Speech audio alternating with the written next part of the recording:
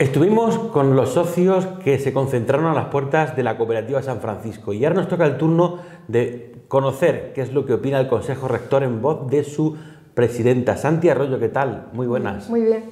Y te corrijo una cosa, socios y ex socios. La mayoría es socios. Ex socios. O sea, la gente que se ha concentrado en la puerta de la, oficina de la cooperativa no son miembros actualmente de la cooperativa. Eh, te he dicho que socios y es socio. Una parte. Sí, una parte, yo creo, una parte no casi, la mayoría de los que estaban ahí, por lo que yo vi. ¿Y esos ex socios son los que fueron dados de baja después de presentar ese preaviso de, de baja en la cooperativa Ellos pidieron su baja voluntaria, además argumentada, y se les concedió con su preaviso. El preaviso no es otra cosa que en un año tienen que saber las condiciones de su capital social y no solamente lo han sabido, sino que lo están ya cobrando. Pero en concreto, empezamos por ahí, por, por lo que hemos dicho, de que son ex socios los que se concentraron. Ellos presentaron un preaviso según los estatutos tienen un año para, para, no, para salir de la cooperativa. No, no, tienen un año en conocer su capital social. Es que esas cosas hay que conocerlas jurídicamente y a lo mejor el desconocimiento o la forma de hacerlo de otro sitio no significa... O sea que presentas el preaviso y ya, está, fuera. ya está fuera. Una vez que tú presentas tu baja voluntaria, eso es así. Que se haga de otra manera, pues no significa que una cosa que se haga de una manera sea porque sea así, sino porque se hace así. ¿Y lo de, conocer, este su, lo de conocer su patrimonio para qué es? No, vamos a ver, no estoy diciendo que su patrimonio, a decir su capital, saber su capital social, si es la baja justificada o injustificada. Ah. Eso es lo que es el preaviso. Vale. Eso es el preaviso. Y luego el Consejo Rector, eh, por estatutos, puede dárselo en tres o en cinco años o en uno. Nosotros hemos decidido en uno. En menos de uno, porque ya, la pasada campaña no pudieron dejar eh, Bueno, pero que, según, es que la pasada campaña es eh, en, noviembre, por eso los socios que lo pidieron ya y otros han quedado fuera hasta la, hasta la campaña del año que viene para que, se le, para que pase ese año y se aprueben esas cuentas. Bueno, eh, todo el lío es porque este, este grupo de gente, unos socios y otros ex socios, dicen que no hay transparencia, que que, no son las cosas como en un principio se vendieron o se quisieron hacer ver, a los que motivaron esa, eh, pues eso que se hizo que para echar al anterior consejo rector, la, la acción de responsabilidad. La acción de responsabilidad. No, aquí hay transparencia toda. Aquí viene el socio y se le da todo lo que quiere. Todo lo que se le pide se le da. Lo, hombre, a lo mejor por protección de datos no se lo puede llevar, pero lo puede ver. De hecho, han venido socios y se le ha dado todo lo que han pedido. ¿Y por qué dicen que no se está haciendo las cosas como se Pues porque no, eso es que lo dicen ellos. Yo no creo que sea así. ¿eh? Yo lo que prometí se está cumpliendo, lo que prometí yo por mi parte sí que se está haciendo. Lo que yo no venía aquí es que parte del Consejo Rector que se formó, eh, a ver, lo que yo quiero que se quede claro que el Consejo Rector son, está compuesto por ocho personas y, y democráticamente se vota. Tú traes una propuesta cuando esa propuesta sale adelante y, y todos los socios ah, votan que sí, o cuatro, o tres, o siete, así, así es como va esa es la democracia, así es como salen las cosas. Bueno, pues dos de ellos eh, querían imponerse con su propio criterio y voluntad. Dos contra los demás. Sí. Y no, y así no se trabaja en equipo. Nosotros no estábamos dispuestos ni a quitar la sección de, de crédito, no estábamos dispuestos a quitar la embotelladora, no estábamos dispuestos a quitar eh, fitosanitarios, una venta que se tiene para ayudar de fitosanitarios, no estábamos dispuestos a que se quitara el laboratorio y por supuesto no estábamos dispuestos a que no se, a que no se embotellara, tenemos una embotelladora. O sea, que eh, son más, ingredientes a lo que fue, Pero es que fue más, es que fue más, es que hasta nos comentaron que eso del Bicuri, que eso no trae cuenta, son nuestra marca de identidad. Entonces, nuestro, este Consejo Rector pues no estaba de acuerdo con eso y yo le dije, tanto a uno como a otro, que aquí se votaba democráticamente y punto. ¿Eso en qué momento se habla al principio, desde el principio. Fue al principio. Fue, al principio. Todo comenzó con esa acción de responsabilidad, donde se echa el anterior Consejo Rector, donde hubo una serie de movimientos que estuvo, en, el que estuvo implicado también el juzgado, que, llegó a paralizar aquella, aquellas elecciones que se Llegó a suspender. a suspender. Una cosa es que los conceptos siempre están en las palabras. Una cosa es suspensión y otra cosa es cancelación o, o desconvocar. En ningún momento el juzgado desconvocó. En ningún momento, suspendió. Suspendió. esto fue en agosto, pero es que fíjese, entra otro juez y se da cuenta, porque así fueron nuestras alegaciones, que para hacer una, suspensión, para hacer una, suspensión de, una, de unas elecciones tiene que estar recogido por el 25% de las firmas de los socios y presentado fehacientemente. Se da cuenta que solamente presentaron esa acción de responsabilidad seis socios. Por lo tanto, levanta la suspensión. Y se siguió por donde íbamos. Ajá. Pero esos seis socios uno de ellos eras tú. No, no, no. Eh, los, que, los, que, los que hicieron la suspensión, estás muy equivocado, los que hicieron Ah, la suspensión que esto de aquello fue el antiguo Consejo Rector. Parte El de- antiguo. Parte del antiguo Consejo Rector. Fue el que paralizó. Sí. Vale. Paralizó después de haber, haberse sometido a esa Acción de responsabilidad. acción de responsabilidad que presentó Entonces, tú el imagínate grupo que cómo está- tiene que verse un juez para decir, oye, pues lo levanto en el mismo agosto. Ajá. En la cooperativa había entrado en una cefalia. Aquí nadie movía un duro. Querían que tanto Javier como eh, José Mario o yo pudiéramos dar dinero, pero es que nosotros no estábamos para eso. No podíamos hacer nada, ni poner puntos del día, ni del día ni de la noche. Solamente éramos tres socios para convocar. En el momento que se quedó suspendido, se quedó suspendido. Hubo en ese momento una dimisión. Estabais tres socios al frente de la cooperativa, sí. dos, tú y otro más, dejasteis el... el No, no, para nada. ¿no? Nosotros lo no, para nada. Eso, es otra, otra mentira. Nosotros eso no pasó dijimos, así. no pasó así. Nosotros lo que dijimos es que mientras que no se levantara esto, nosotros, como no estábamos hechos nada más que para convocar, pues no podíamos hacer nada. En el momento que se desconvocó, seguimos por donde estábamos. ¿Por qué se hizo así? La asamblea. ¿Por qué se hizo así?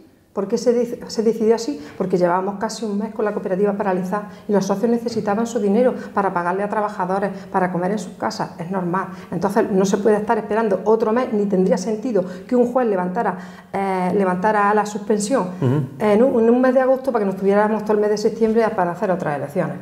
¿vale? Entonces se hizo así. La gente, te digo que fueron unas elecciones multitudinarias como yo nunca he visto, ¿sabes? Y ya está. ¿Por qué, por qué esas elecciones con tanta gente? ¿Por qué Pues porque la gente quería que se abriera la cooperativa, la cooperativa quería su dinero. Y luego un, un detalle muy gracioso, bueno, muy gracioso y muy doloroso a la vez. Como ellos sabían que se habían suspendido, que, se, que iba- iban, a, que iban a presentar esas medidas cautelares, vinieron un día de antes y sacaron el dinero. Ujú. Pero no se lo dijeron a los socios que es lo que iban a hacer y muchos socios se quedaron sin poder sacar su dinero, pero ellos sí lo sacaron. ¿Sabe usted? O sea, que se quedó sin liquidez la cooperativa. Se quedó en una cefalia, no sin liquidez. Una cefalia es todo paraliza. Ajá. ¿Vale? Eh, y es lo que le puedo decir de aquello. Y, y no- y además mm, no estarían tan preocupados después cuando se hizo las elecciones los socios, porque después, cuando se hizo las elecciones, a los dos días ya estaba la cooperativa abierta y funcionando con los bancos y todo, Ajá. y nadie sacó ni un duro de aquí. Sí, sí. Todo siguió tranquilo y todo bien. O sea, ahora mismo está la cooperativa funcionando perfectamente. Perfectamente. Yo hice una promesa, y lo saben los socios. Ustedes saben que mi marido está aquí trabajando de maestro de Almazara y yo no veía ético Eso podría crear un, un conflicto, ¿no? No, no, no, no, para nada. ¿No? Soy socia y soy socia en pleno derecho. No porque tenga aquí un familiar trabajando, si tuviera 17, un socio igual en, en derecho y en obligaciones. Mm. Y- pero yo consideraba que al estar aquí mi marido trabajando, pues yo no quería cobrar. Y hice esa promesa. Ujú. Todo lo que ganaba el presidente anterior, yo lo dejaba en la cooperativa para mejoras. Y así lo prometí y así lo estoy cumpliendo. En lo cual, después del Consejo Rector, que hay aquí un, un miembro del Consejo Rector con nosotros acompañándonos, pues dijeron que, que se unían a eso porque estaba la cooperativa en unas circunstancias pues, bastante deterioradas y dijeron, pues vamos a hacer lo mismo, porque fíjese usted, parece una tontería, 6.000 euros casi al mes que cobraba el Consejo Rector, que lo veo, ojo, que no lo critico, ¿eh? 6.000 que no eran para el presidente solo, ¿no? Que No, no, por favor. varios, ¿no? no, Y seguro social, en fin, lo que cobraba. Es que no solamente era el sueldo, sino lo que eso, lo que eso conlleva. Pues eran casi 6.000 euros, pues oye, pues si se- eso- ese dinero se invierte en arreglar esta cooperativa, pues lo vimos todos bien y justo, porque somos gente que queremos mucho nuestra cooperativa. Y el que no lo quisiera así, que lo pidiera en asamblea. Porque mm, por estatuto solamente puedes co- cobrar presidenta y secretario. ¿vale? Y nosotros decidimos, tanto uno como el otro, de que se quedaba aquí. Que, al- que algún miembro del Consejo Rector quería cobrar, como estos son una- o sea, las elecciones aquí se presentan por listas abiertas, pues solamente con que lo pidieran en asamblea, pues estaba bien. Los socios no creo yo que se lo hubieran negado, lo hubiesen pedido si alguien no quería, pero todos se unieron a esto, pues ya está. Y a la persona que no, a la persona que, que quería pedirlo, pues ya se le dijo, pídelo en asamblea y sin ningún problema. Yo creo que los socios no te van a decir que no. ¿Quién puede convocar las asambleas? Eh, ¿Cómo? ¿Qui- ¿Desconvocar? qui- ¿Quién puede convocar una asamblea? El Consejo Rector.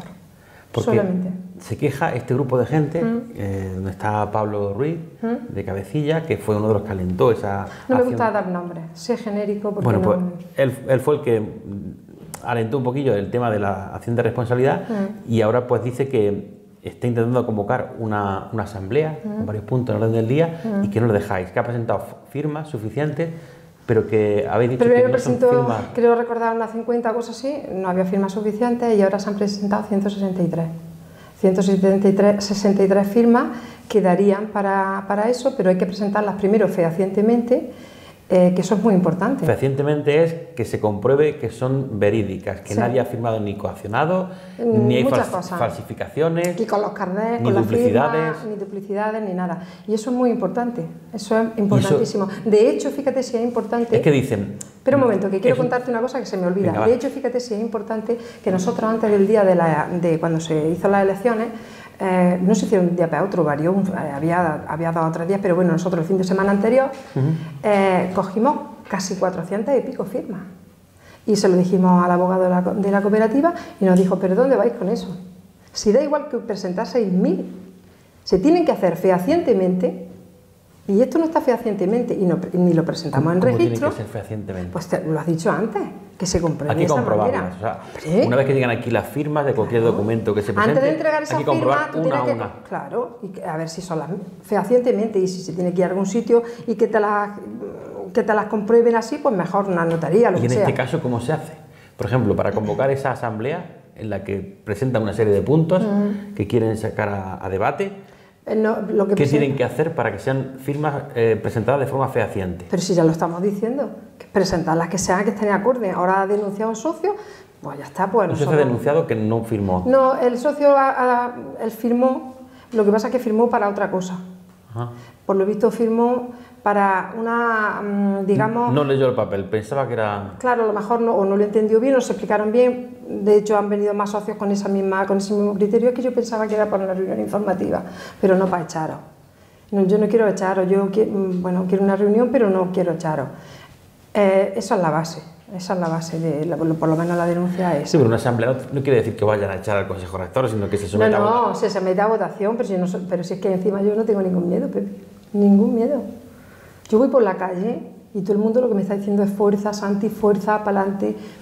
Estoy tranquila, estoy tranquila porque cuando uno cree que está haciendo las cosas bien, y ya se nota, porque después de que termine la entrevista sí que me gustaría que nos diéramos una vuelta por las instalaciones y que, y que vieras cómo, cómo está quedando Bueno, de hecho este despacho, o, era un despacho, yo recuerdo de entrar y ver un despacho aquí. Ahora mismo no hay un despacho, una, una junta de, una, sala de juntas. Es que en mi criterio y en el criterio de- del Consejo Rector eh, no hay silla presidencial porque somos un equipo, un equipo humano que ama su cooperativa y no nos gusta el pensamiento único.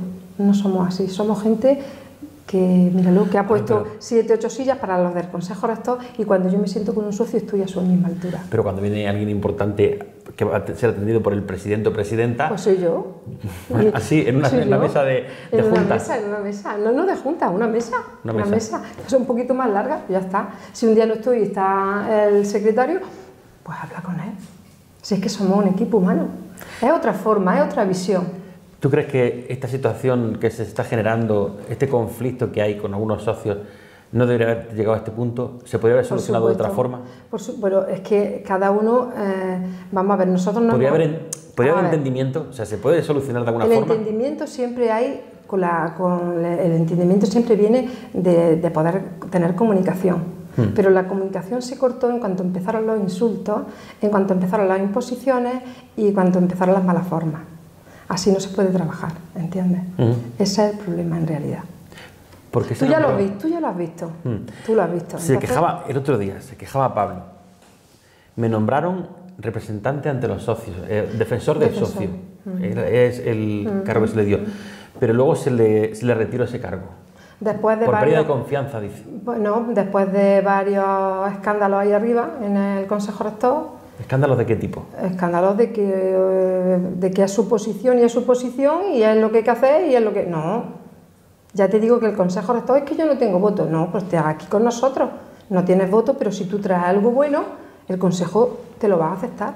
Pero si tú traes cosas que no entran en razón o no nos convences como Consejo Rector, pues no se van a hacer.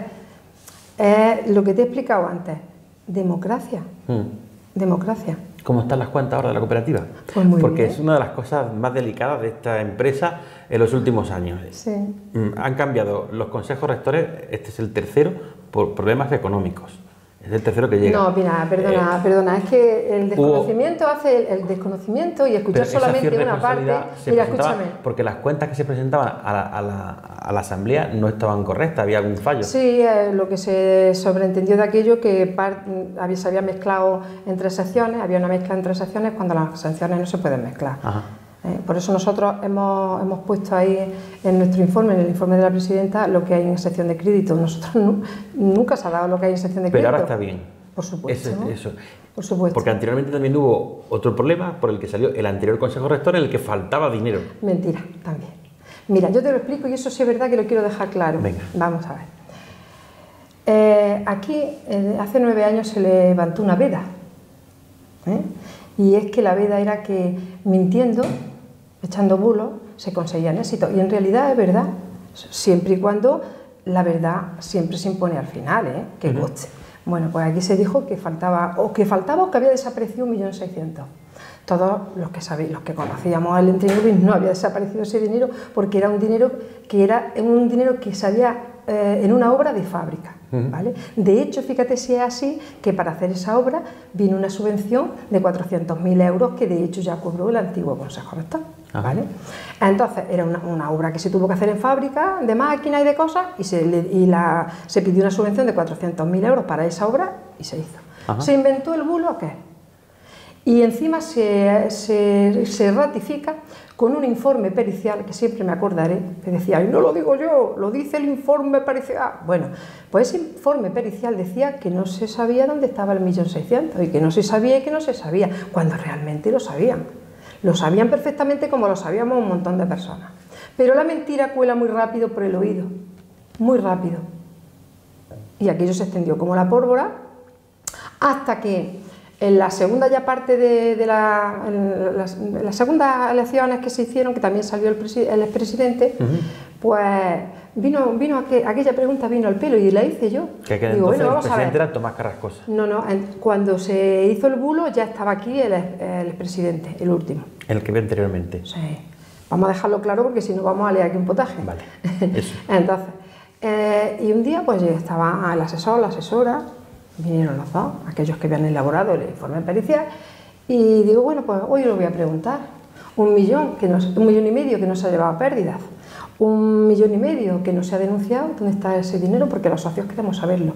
Y la asesora le sopla al, al presidente en inversiones, y él dice, en inversiones, está grabado, ¿eh? No es una cosa que yo, es que está grabado y si quiere ahora después la Y ves. se dejó llevar sin contrastar lo que estaba diciendo. No, dijo la verdad. Aquella señora dijo la verdad, estaba en inversiones. Ajá. Porque es que estaba en inversiones, si es que no estaba en otro sitio. ¿Sabes que ya esa señora asesora ya no vino más a ninguna asamblea? Y a la siguiente asamblea se siguió diciendo que no encontraban el millón seiscientos. Eso es lo que pasó. Pero la verdad no tiene nada más que un camino que tardaron cinco, cuatro o tres años o los que fuera en que, O sea que al en final, que se quedara claro aquello. estos Bueno, últimos 10 años no ha faltado dinero. Simplemente Nunca. no se había sabido trasladar bien dónde estaba el dinero. No, no es que no se trasladara, es que se hizo intencionadamente, decirlo así, con un informe pericial que le costó a los socios, le costó a los socios 14.520 euros y los socios lo van a ver eso en la asamblea, un informe tres hojas y el, el otro día se echaban las manos algunos, es- eh, algunos socios, ¿eh? se echaban las manos a la cabeza porque, un- porque una auditoría vale 10.000 euros, es que es lo que vale, 9, 10 o 11.000 euros es lo que vale una auditoría, con un montón de trabajo detrás eh, que se tienen aquí dos meses para hacerlo todo y eso cuesta 9 o 10.000 euros, como le digo. Un informe pericial que son unas hojas, 14.520 euros, hace 9 años o 8 años, pues me parece muy fuerte y no vi a nadie allí levantarse, ni preguntar cuánto valía, había, había valido ese informe, ni preguntar si era caro o era barato. ¿Finalmente fue necesario el informe o no, o no hacía falta? El informe pericial que decía que faltaba, Sí. que faltaba el, el millón seiscientos o que no lo encontraban, pues fue una mentira, apoyada, Innecesario, ¿no? innecesaria, totalmente. Innecesaria totalmente. Ahora se han levantado otros bulos. Por ahora, ejemplo, ha- ahora, por ejemplo, se la, ha dicho... que la cosecha de la cooperativa, la cosecha media, ha bajado casi a la mitad. Vamos a ver, eh, en el periodo del expresidente se fueron 240.000 olivos. Y en el tiempo que llevamos nosotros, de los socios que se han ido, han sido 28.000 olivos. ¿Vale? Eso es así, eso está, nosotros lo tenemos todo reflejado y no tenemos por qué esconderlo, pero si es que eso es así. Hmm. Pero ahora, eh, pero vuelvo a lo mismo porque no me gusta quedarme, no me gusta quedarme a medio. Ahora se han levantado otros bulos hacia nosotros, que si camuflamos aceite, que si convertimos aceite en virgen, virgen extra, un millón de kilos de aceite en virgen extra convertido. Bueno, ¿Cómo se hace? Pues no sé, pues no sé, yo no sé a quién se lo va a preguntar eso, pero aquí lo que sí le digo es que en cuanto entra el aceite en la bodega, ¿eh? entra la aceituna primero, se mortura, Porque entra en la bodega... O sea, el virgen extra se puede hacer virgen, pero el virgen, la virgen extra es complicado, ¿no? Mira, escúchame, escúchame. Cuando entra el aceite en la bodega, es Hancock. Primero, ¿quién lo comercializa? ¿Vale? Hancock es quien hace la analítica de esos bidones y dice quién son. Perfectamente lo que hay, ¿no? Virgen, virgen extra, eso es una analítica. Pero es que además, una analítica que hace Hancock. Eh, pero es que además precinta los bidones. Es más, el aceite que nosotros eh, tenemos en embotelladora, primero es comprado Hancock. Imagínate, Hancock lleva un control exhaustivo, exhaustivo. Mm de, la bodega. Y también cuando los partes de camiones, la salida y entrada de los camiones, todo es Hancock. Y menos más que estamos en Hancock. Porque si no, imagínense ustedes el lío que nos hubiese liado. Eso hace un bulo tan sin, tan sin fundamento. la Junta Rectora no, no dice cuánto cuánto aceite hay que envasar con la marca propia de San Francisco ni cuánto va no, a lo que vamos necesitando. lo que necesitáis se le comunica a Hancock. Se le comunica a Hancock y se envasa. Y Hancock hacemos la compra del aceite y nosotros ya lo envasamos aquí. Han hablado también, que es otro bulo muy fuerte, que perdemos, eh, que perdemos dinero con la embotelladora. Pues, qué tontería. Si, si, la embotelladora estuviera dando pérdidas, con que lo vendiera Hancock se solucionaría la cosa, pero es que la embotelladora ni ha dado pérdidas antes, y se le va a demostrar a los socios en, asamblea, ni antes, ni ahora, ni luego, porque si, ¿para qué se quiere tener una cosa para dar pérdidas? Eso es tontería. ¿Por qué dicen que da pérdidas? Pues porque es otro bulo de los que han sacado. Por las Pero mira, ahí, Tanto cuesta el aceite, tanto el proceso de envasado, tanto los envases, etiquetado, todo lo que lleva. Todo lo que lleva. Tanto cuesta, pues se le pone un precio. Se le pone un a precio. Partir de ahí. Eh, se hace un escandallo. ¿eh? Por ejemplo, hemos vendido un camión a unos rumanos, que por ahí viene todo el lío. Un camión, ¿vale? Camión en ese a granel envasado. Envasado. Nosotros, nosotros aceite en granel no podemos vender, Pepe. ¿Granel lo saca Hancock? Eso es Hancock. Nosotros podemos vender aceite en nuestra embotelladora. Bueno, pues ha vendido un camión a esos, a esos rumanos. Cuando estaba el aceite a 3,43, se le vendió a 3,80 más todos los gastos más todos los gastos, incluso los 3 céntimos de la persona que nos trajo a, a Una comisión. la comisión de, la persona que nos trajo. Que ya que venir muchos socios a traernos gente para que se lleven aceite embotellado porque ganaría la cooperativa. Bueno, pues de ahí salía un calvario que no te lo puedes imaginar y queda pérdida. Nunca la ha dado. Porque en el momento que se dieran pérdidas, con cerrar la embotelladora y que lo vendiera no se ya está, ¿no?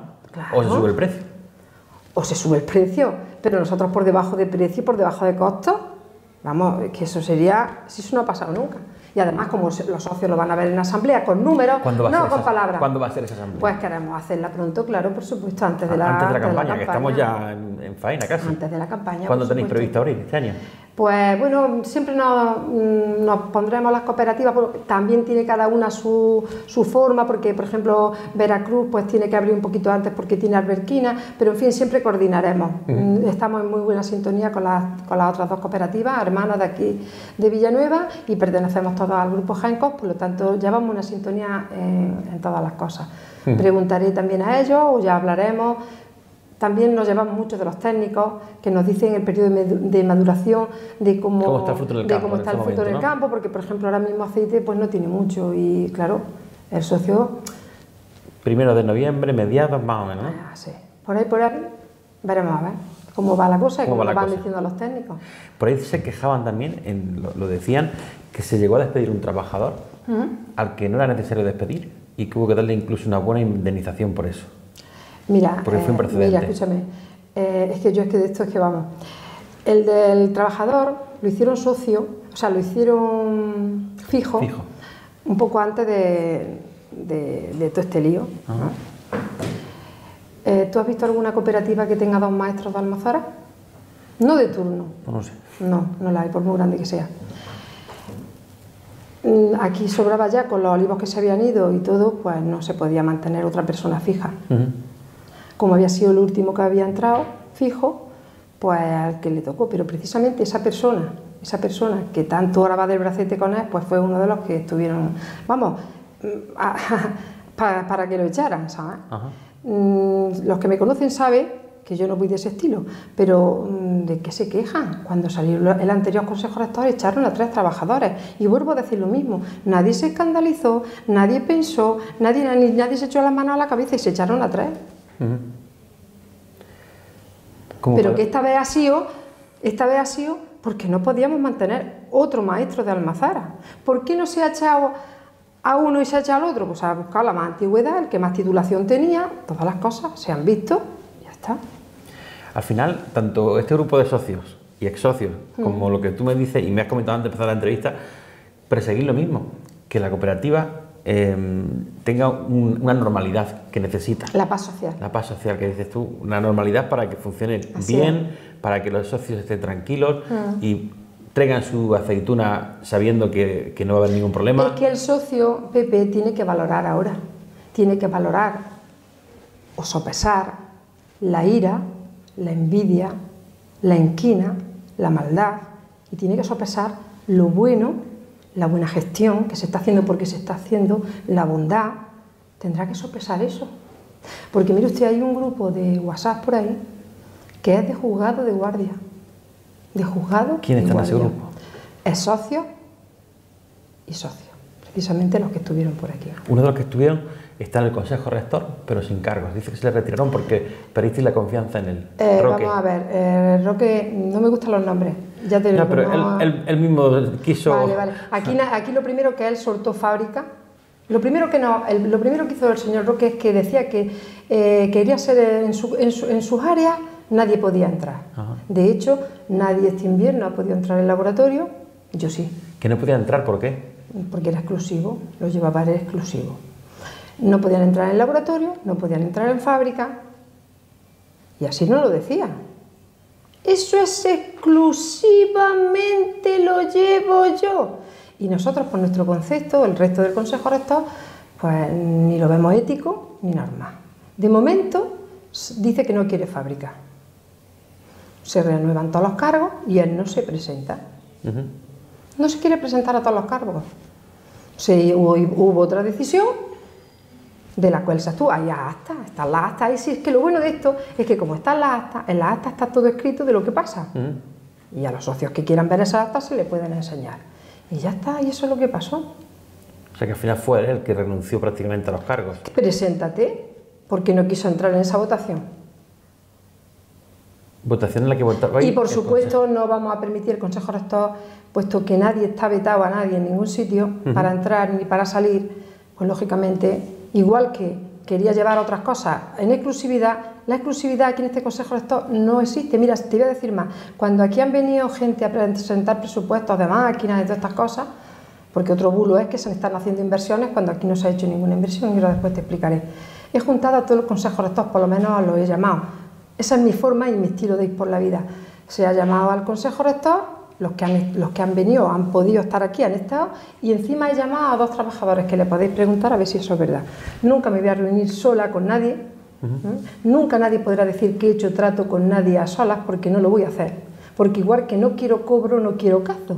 O por lo menos, si a lo mejor caso, cazo, ni siquiera te, lo dice, ¿me entiendes? Pero en fin, como yo quiero que solamente, es como, es como lo que se suele decir eso, dice, no solamente hay que ser torero, también hay que parecerlo, ¿me entiendes? Pues yo me reúno con todo el equipo y todo el equipo decide, ve al mismo tiempo que yo. Es mi estilo, es mi forma de ir por la vida. Y así lo hago.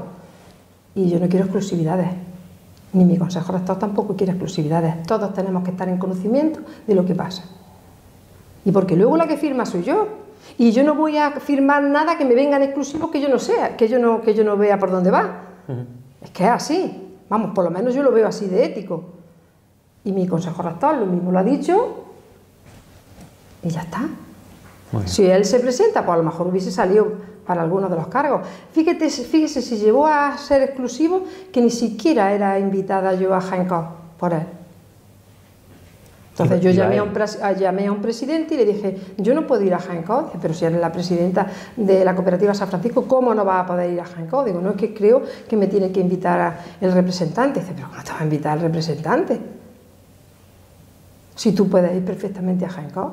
Y de hecho, desde aquel momento, pues yo me fui a Jaencó cuando había una esta y me recibieron con mucho agrado y, y ya está. Cuando, y, si no, y si no voy yo, puedo, puedo, puede también ir otro miembro del Consejo Rector, se le dice a Fernando, sin problema ninguno. Sin problema ninguno. Y todo era porque Roque había absorbido ese, ese puesto. Ni, ni, ni en fábrica, ni en laboratorio, ni Jaencó. No es así. Trabajo en equipo. Eso es lo que le prometí yo a los socios, porque para pensamiento único ya habíamos tenido bastante.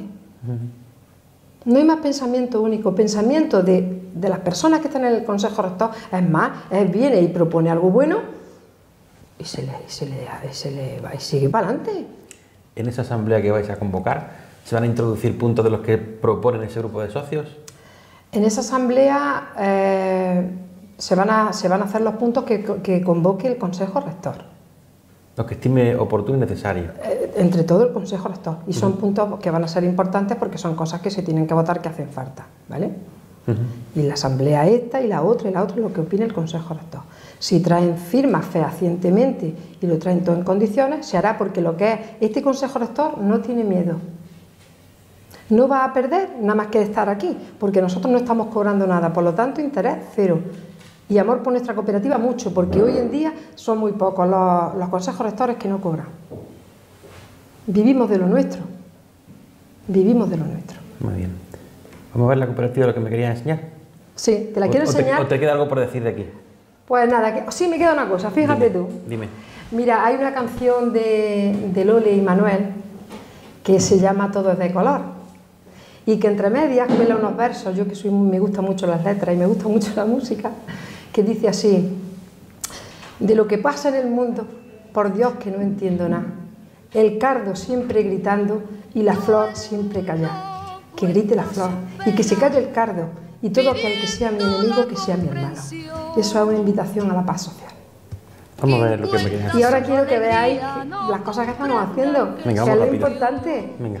Venga. Pues mira, aquí se ha procedido a pintar en las oficinas, tanto aquella del despacho como todo esta, que estaba muy deteriorado.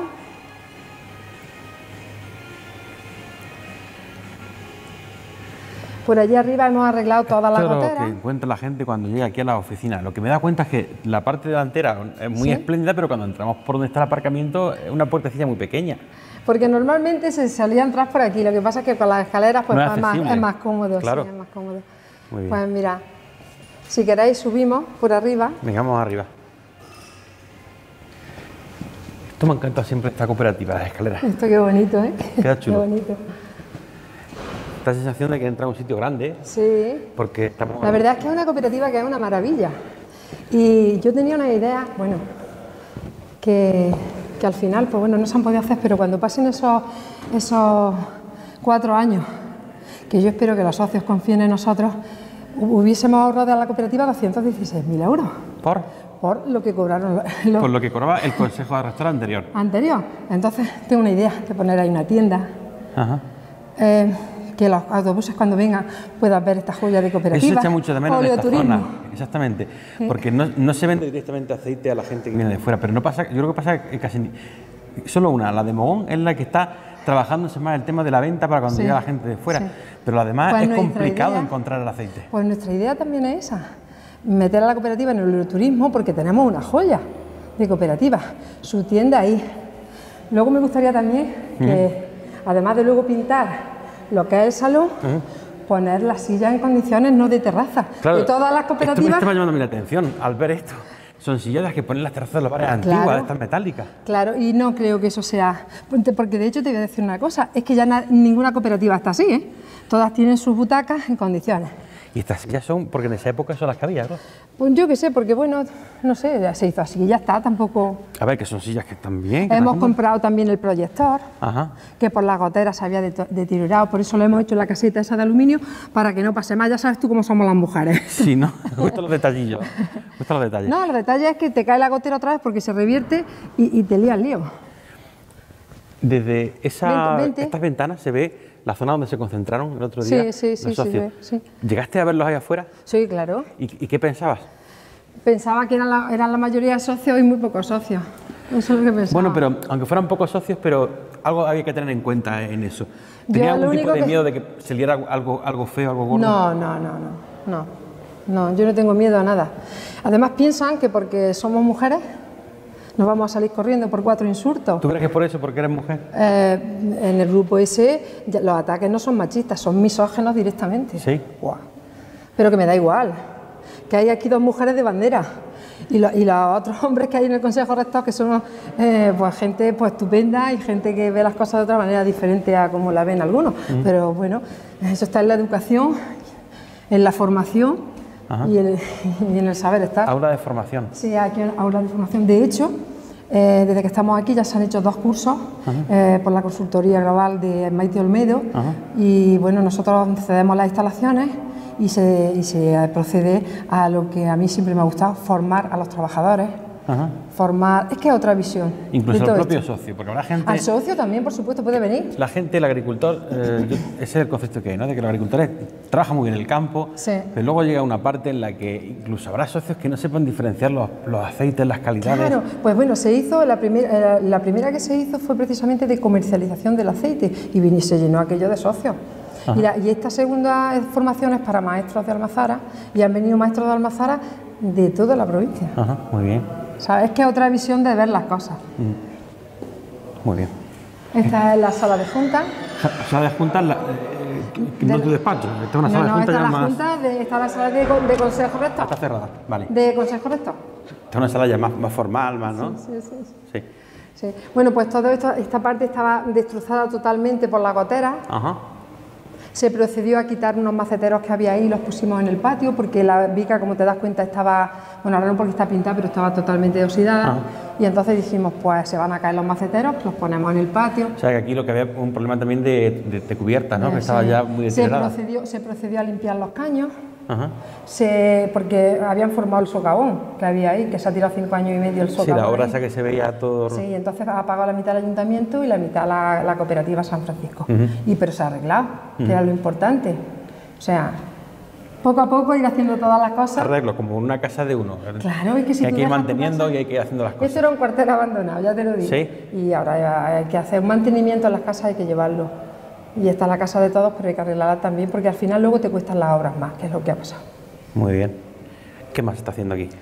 Pues, como te he dicho, eh, se ha procedido a la pintura porque las morduras se estaban cayendo todas.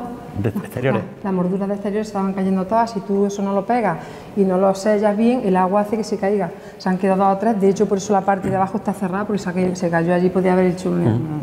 Esta cooperativa, cuando se construyó este- estas instalaciones actualmente, que- donde está aquí ahora mismo, eh, cuando se hicieron, eran de las más bonitas que había por, yo creo que media- por media provincia, ¿no? Me refiero.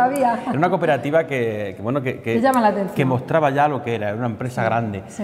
Da- in- empezó a dar una imagen de, no como antes, una, una- una nave o puertas antiguas donde se atrojaba la, la aceituna en los patios. Aquí ya se está dando una imagen ya de modernidad y de, y de, y de presencia. Así es, así es. Y bueno, hay que, pero hay que mantenerla, hay que dejarla así de bonita y de limpia, si no.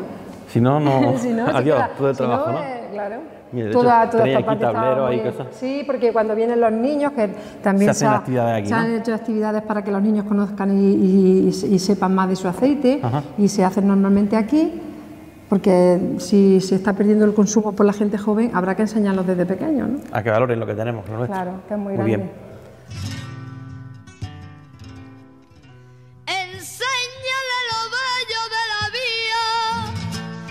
Esa es la parte donde mm, se le da nombre a vuestro aceite, el nombre propio. Sí. El- el- las marcas de la cooperativa San Sí, las Francisco, ¿no? marcas- Esta es la embotelladora. Esta es la embotelladora.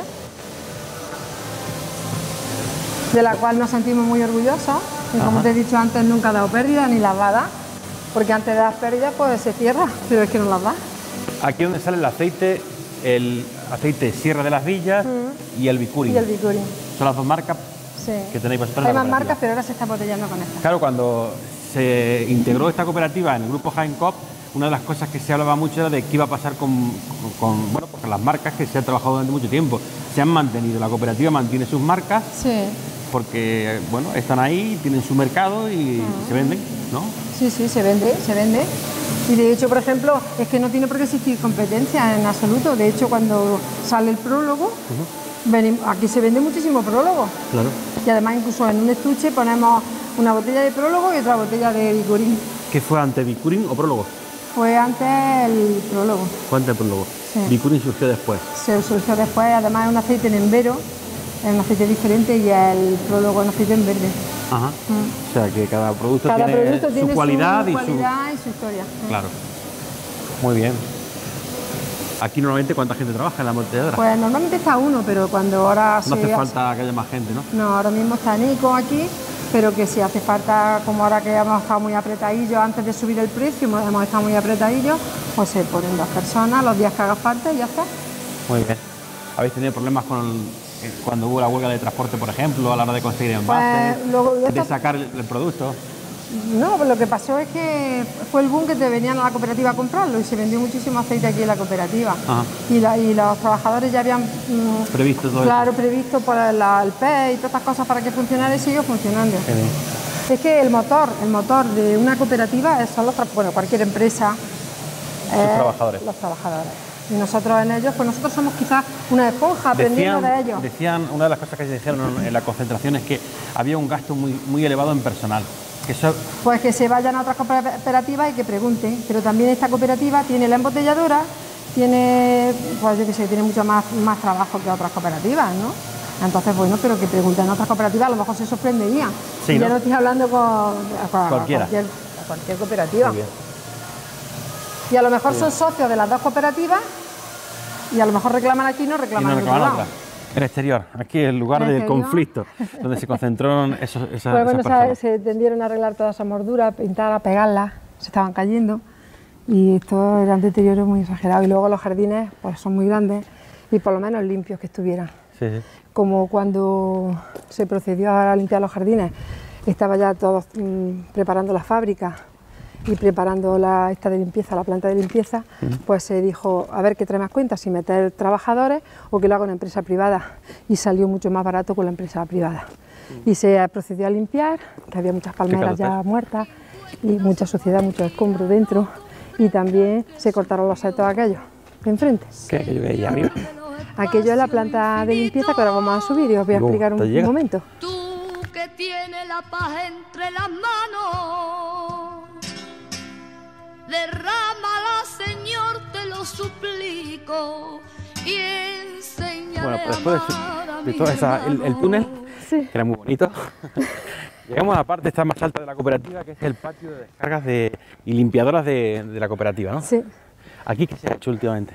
Pues aquí lo que se ha tratado, porque la- el anterior Consejo Rector, eh, en asamblea, Ajá. se aprobó un estudio de, re- de remodernizar la planta de limpieza, porque son máquinas ya muy obsoletas, se gasta mucha luz, hay muchos trabajadores porque están siempre rompiéndose, en fin. Y por ahorrar costes, pues se hizo un estudio, se estaba haciendo un estudio, el cual nosotros continuamos. Estaba muy adelantada ya las cosas con la máquina, con las marcas HAR, pero nosotros decidimos que había que haber más máquinas, porque le preguntamos al, al encargado de planta y nos dijo que había máquinas en el mercado mucho mejores, Más eficiente. más eficientes, eh, no solamente en el, en el trabajo que las toneladas que se hacían, sino también en la electricidad. Y entonces estuvimos viendo, mm, estuvimos viendo por casi toda la provincia de Jaén. Y luego vinieron, como te he dicho, muchas máquinas, pero solamente, muchas marcas, pero solamente a entregar presupuesto. Y nosotros lo que queríamos, puesto que no estaba aprobado por asamblea, que se compraran, porque eso primero hay que aprobar que se venga una subvención. Muchas cosas antes, además tienen que ser los socios los que los decidan, no el Consejo Rector. Las inversiones grandes las tienen que... Hay que pasarlas por la asamblea. Claro, por supuesto, así son los socios el que decide. Bueno, pues se consiguió que una de las marcas, eh, sin coste alguno para la cooperativa, pusiera una máquina. Una máquina sin coste. Sin coste ninguno, a prueba este año. para que veáis cómo funciona. La po- ponía, Que eso se estrena ahora, esta campaña dos- se estrena, 22-23. pero, sí, pero se estrena, pero ellos se la llevan. ¿Me explico? Se pone, se ellos prueba. Ven, ellos ven, los socios ven cómo va la máquina, si les gusta, y luego se aprueba en la asamblea pedir la subvención para la remodelación de, de lo que es la planta de limpieza, pues se hace y si no, pues ya está. Se la llevan y la empresa. Sí, Y ese ha sido otro bulo que se ha vertido que estamos haciendo inversiones, ninguna. Simplemente se ha conseguido que una marca ponga aquí ¿Y su ya- máquina. ya está aquí la que, de la hecho, máquina? que de hecho en San Isidro la están poniendo. De hecho en San Isidro cuando hizo la remodelación de su patio pusieron tres máquinas de, prueba. de ese tipo. Claro, de prueba. Ajá. Pero bueno, que ya está, que la vean los socios, que no quieren Aquí hacer va a hacer inversión. falta 12 máquinas de limpieza, si tenéis 12 tolvas, No, pero con estas máquinas no necesitaríamos tantas. con menos, ¿no? Uf, tú verás, pero si eso se, se traga 110 toneladas. ¿Cada hora Ajá. O al día? No, no, Yo, es que ¿A la no, hora? yo, no, yo no soy agricultor, no sé cómo va eso. Eso, eso eh, se mete aquí eh, un tractor de 12 o 13 mil kilos y eso se lo lleva. eso yo- En un rato, ¡fum! Sí, Eso nada, eso nada. Bueno, y un remolquillo de estos, por ejemplo. ahí apretando. Los, que yo tengo, por ejemplo, los que yo tengo, eso es echarlo y salir. Y sale de momento, ¿no? Sale Y sale pitando. Según lo has soltado, Pero en fin, que eso también es lo que dice eh, el de la máquina. Luego tenemos que verlo, ¿eh? Ajá. Tú ya sabes cómo somos. Está vacía, supongo que será Sí, que porque están la cambiando. máquina, sí, porque la máquina va con dos torbas. O sea, una máquina limpia de dos tolvas. Sí, porque así no hay tiempos perdidos. Ajá. Con el ahorro de luz. O sea, en vez de supone. do- 12 máquinas limpiadoras serían 6 máquinas limpiadoras y cada una se lleva sus dos tolvas. Sí, y si ahora mismo te apañas con menos, pues con menos. ¿Sabes lo que te quiero decir? Ajá. Ahora ya también hay menos socios, pues oye, tampoco va a hacer. Pero, por ejemplo, si descarga uno en una tolva y otro en otra, uno tiene que esperarse que limpie el, otro. Sí, sí, claro, pero se- el tiempo muerto que se, que se perdía antes ya no se, ya no se pierde. Es que es terminar una aceituna sale la otra pitando. La máquina no para, No para, no para, no para, no para. Y eso, eso es un ahorro exagerado. Y una sola máquina funcionando en vez de dos. Claro. Ese sería el, el y además ahorro. con las pesadoras lo mismo, con una persona en la pesadora atendería la- la- las do- las dos. Las dos, ¿no?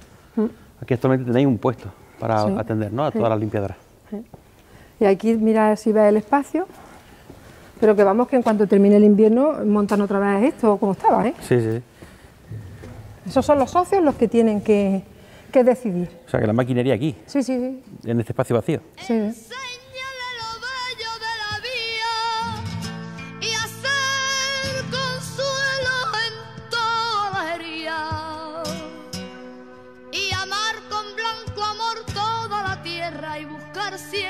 La paz, Señor, y odiar la guerra. Bueno, pues Santi, gracias por enseñarnos la cooperativa, gracias por aclarar las cosas que quedaron así un poquito. Bueno, eh, por, por- por esa concentración que hubo el otro día. Las versiones siempre hay que Lo escucharlas las dos. sí, hay que escuchar las dos partes. La- Ya el que nos esté viendo y escuchando, pues se hará, hará su juicio. Que el socio valore y, valorará. sopese. Y, bueno, que al es lo final, importante, que también lo Lo decimos ahí en importante es nuestro que escrito. esto es una empresa privada, pero al final es una empresa social, una empresa que, que, bueno, tiene su repercusión en un municipio como Villanueva y en una comarca como la nuestra, como Las Villas. Mm. Y el que quiera lo hacer- y que lo quiera- deseable sería que hubiera paz dentro de esa Y otra cosa. Pepe, que el que quiera hacer de esta cooperativa su propia empresa se ha equivocado, porque este Consejo Rector se lo ha impedido. ¿eh? Y una cooperativa es de sus socios, no de los pensamientos y de las ideas de uno. Santi, gracias. Hasta A vosotros.